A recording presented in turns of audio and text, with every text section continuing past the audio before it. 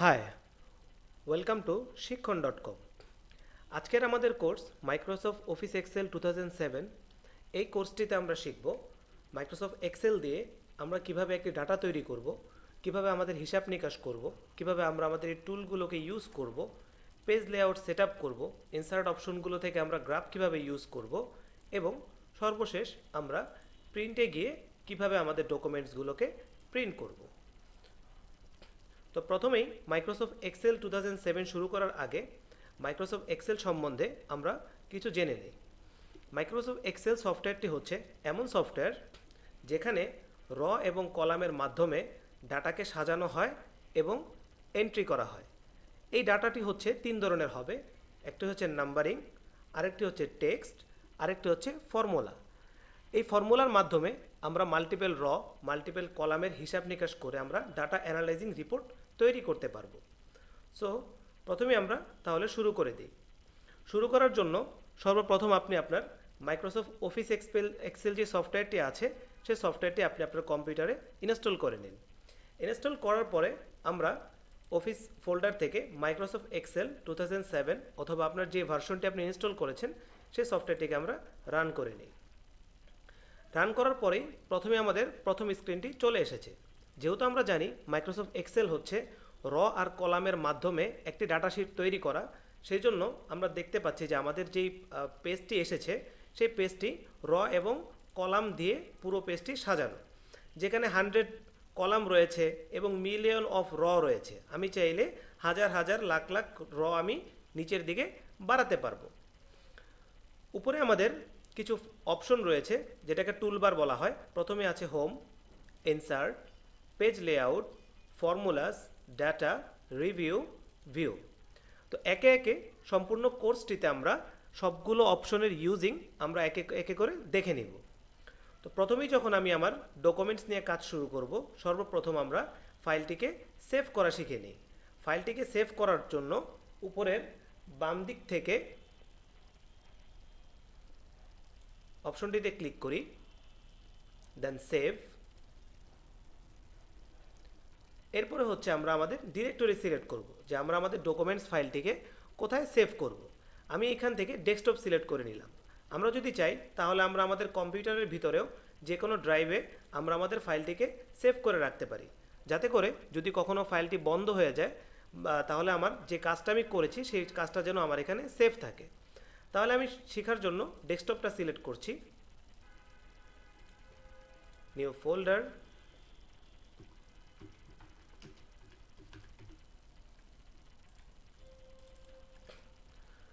ফোল্ডারটিতে ঢোকার পরে নিচে আমরা দেখব ফাইল নেম নামক একটি জায়গা আছে।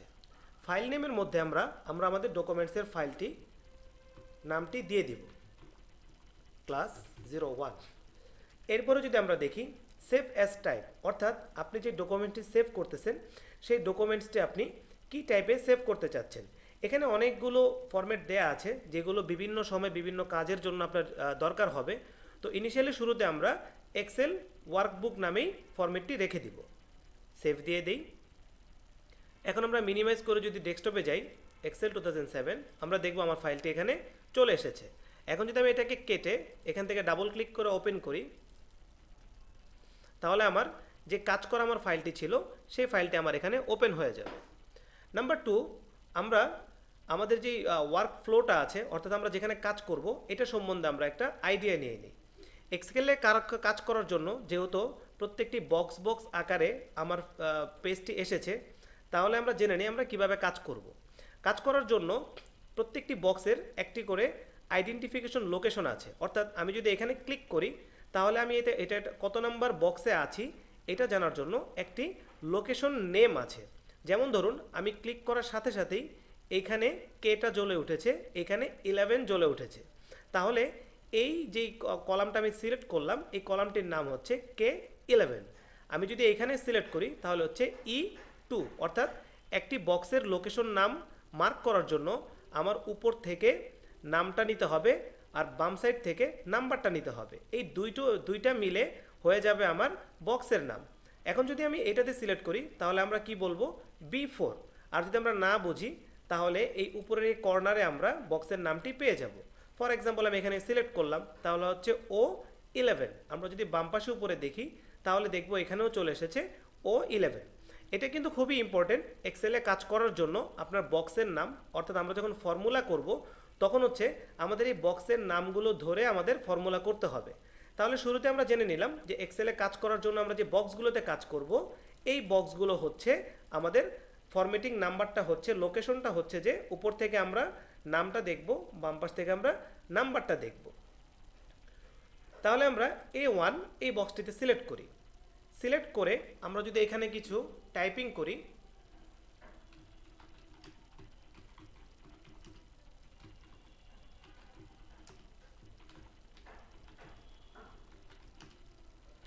টাইপিং করার সাথে সাথে আমরা দেখব, আমরা এ ওয়ান থেকে টাইপিং শুরু করলাম। কিন্তু আমার যে টাইটেলটি আছে star design sales report for two এটা দেখব আমি, আমার ডি ওয়ান পর্যন্ত চলে এসেছে।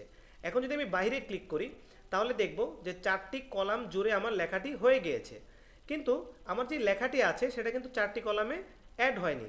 কারণ হচ্ছে আমি যদি বি ওয়ানে ক্লিক করি, তাহলে আমি এখানে মান দেখব ইমটি আমি যদি এ ওয়ানে ক্লিক করি, তাহলে দেখব পুরোটা লেখাই আমার এ ওয়ানে রয়ে গিয়েছে।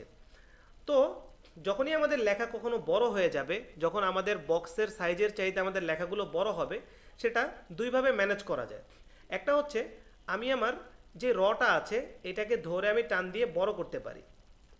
সেই ক্ষেত্রে আপনাকে একটা জিনিস খেয়াল করতে হবে যে আমার যে এই বরাবর যতগুলো র আছে, সবগুলো র আমাদের বড় হয়ে গিয়েছে।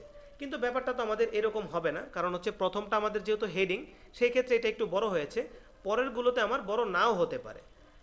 কন্ট্রোল জেড ইউজ করে আমরা ব্যাকে যাব। কন্ট্রোল জেড হচ্ছে ব্যাকে যাওয়ার শর্টকাট কি শর্টকাট কিগুলো আমাদের মুখস্থ রাখতে হবে যাতে করে আমরা খুব তাড়াতাড়ি কোনো কাজ সম্পূর্ণ করতে পারি। তাহলে এখন এই যে চারটা কলাম জুড়ে নামটা হয়ে গেল, আমরা এটাকে ঠিক করার জন্য কি করব? এটাকে বলা হয় মার্জ টুল অর্থাৎ আমি এই ওয়ানে ক্লিক করে মাউস চাপ দিয়ে ড্রাগ করি। এখন দেখব আমরা আমাদের চারটি বক্স সিলেক্ট হয়ে গিয়েছে। সিলেক্ট হওয়ার পরে আমরা উপর থেকে যদি সেন্টারে যাই, তাহলে দেখব এখানে একটি অপশন আছে মার্চ অ্যান্ড সেন্টার। আমরা যদি সিম্পলি এই বক্সটিকে ক্লিক করি, দেন আমরা এখন আমাদের বক্সে যাই, তাহলে দেখব আমাদের যে চারটি কলাম ছিল, এই চারটি কলাম একসাথে মার্জ হয়ে গিয়েছে। আমি চাইলে এখন বি ওয়ান সিলেক্ট করতে পারছি না, অথবা সি ওয়ান সিলেক্ট করতে পারছি না। তাহলে এটাকে বলা হয় মার্জ টুল। আমি যদি কোনো দুইটি কলামকে একসাথে জোড়া লাগাতে চাই, তাহলে আমাকে মার্চ সিলেক্ট করতে হয়। ফর এক্সাম্পল আমি যদি এই চারটা বক্সকে একসাথে করতে চাই অথবা ছয়টা বক্সকে একসাথে করতে চাই, তাহলে আমি ক্লিক করে ড্র্যাগ করব। ড্র্যাগ করার পরে যেই কটা কলাম এবং র আমার এখানে সিলেক্ট হয়েছে, আমি যদি মার্জে ক্লিক করি, তাহলে দেখব এই জায়গাটা মার্জ হয়ে একটা বক্সে রূপান্তরিত হয়েছে। এখন এই মার্জের পাশে একটি তীর চিহ্নর মতো মার্ক আছে, যেখানে আমি দেখব আরও এখানে চারটি অপশন রয়েছে, যেটা আমরা সামনে স্টেপ বাই স্টেপ দেখব। কন্ট্রোল জেড দেই। তাহলে আমরা দেখে নিলাম যে আমরা একাধিক বক্সকে মার্চ করে আমরা আমাদের ফরম্যাটের জন্য আমরা কীভাবে কাজে লাগাবো। দেন হচ্ছে, যেহেতু আমার এটা একটা টাইটেল তাহলে টাইটেলটিকে আমরা ফন্ট নিয়ে কাজ করা। অর্থাৎ আমি এই টাইটেলটিকে বড় করব, অথবা কালারিং করব অথবা ফন্টের স্টাইল চেঞ্জ করব, সেই ক্ষেত্রে আমাকে এই ফন্ট রিলেটেড কাজগুলো করতে হবে। এখানে অপশনগুলো আমরা দেখে নিই। প্রথম যে অপশনটি রয়েছে, এটাকে বলা হয় ফন্ট ফ্যামিলি। অর্থাৎ আমি আমার ফন্টের যে স্টাইল আছে, এখানে অনেকগুলো ফরম্যাট রয়েছে। আমি চাইলে যে কোনো একটি ফরম্যাট যখন দিব, আমি দেখতে পাচ্ছি যে আমার লেখার যে ফন্টের স্টাইলটা আছে, সেই স্টাইলটি চেঞ্জ হয়ে গিয়েছে। তাহলে এখান থেকে আমরা আমাদের ইচ্ছে মতো যে কোনো ফন্টের স্টাইল আমরা ইউজ করতে পারি। যদিও অফিসিয়ালি আমরা এরিয়াল, ব্ল্যাক অথবা টাইমস নিউ রোমান, এই দুইটা অপশনকে আমরা চুজ করব ফর বেটার ফরম্যাটিং তো আমি এখানে এরিয়াল লিখে এন্টার দিই। নাম্বার টু হচ্ছে, আমরা এখন এই ফন্টটিকে বড় করতে চাচ্ছি। সেক্ষেত্রে আমাদের করতে হবে, ফন্ট ফ্যামিলির পাশে একটি অপশন আছে ইলেভেন দেওয়া। অর্থাৎ বাই ডিফল্ট ফন্ট সাইজ হচ্ছে ইলেভেন অর্থাৎ স্ট্যান্ডার্ড একটা কর্পোরেট সাইজে যখন আপনি কোনো ফরম্যাটিং করবেন টেক্সট লিখবেন, তখন হচ্ছে আপনাকে ইলেভেন অথবা টুয়েলভ সিলেক্ট করে কাজ করতে হবে। তো যেহেতু হেডলাইন হেডলাইনের ক্ষেত্রে আমরা কিছু বড় ছোট করতে পারি, বড় ছোট করে কালার দিতে পারি, যাতে পেজের হেডিং হিসাবে এটাকে মনে হয়। তাহলে আমি যদি এটাকে বিশ দেই বা আঠারো দেই, তাহলে আমরা দেখতে পাচ্ছি পিছনে আমার ফন্টগুলো বড় ছোট হচ্ছে। কিন্তু আমার যে লেখাটা, সেই লেখাটা এখন হাইড হয়ে গেছে। কারণ হচ্ছে, আমি যেই কটা কলাম মার্চ করেছি, সেই কটা কলামে আমার এই লেখাটা এখন ধরছে না, কারণ ফন্টটা বড় হয়ে গিয়েছে। তাহলে আমি এটাকে মার্চ করে এইখান থেকে এজ পর্যন্ত মার্চ করে দিই, তাহলে আমি দেখব অটোমেটিকলি আমার যে হেডিংটা আছে, সেই হেডিংটা এখানে চলে এসেছে। তাহলে আমরা দেখলাম যে একাধিক কলামকে আমরা কীভাবে মার্চ করব দেন আমরা টাইটেল করার জন্য ফন্ট ফ্যামিলি কীভাবে চেঞ্জ করব, এবং কীভাবে রিসাইজিং করব, যে আমরা আমাদের ফন্ট সাইজটাকে কীভাবে চেঞ্জ করতে পারি। এরপরে এর নিচে যদি দেখি বি সাইন এটা হচ্ছে বোল্ড আমি যদি বি সাইনটা প্রেস করি, তাহলে দেখব আমার ফন্টটি বোল্ড হয়ে গিয়েছে। তাহলে একটা হেডিংয়ের জন্য আমার এটা আরেকটু রিমার্ক হলো।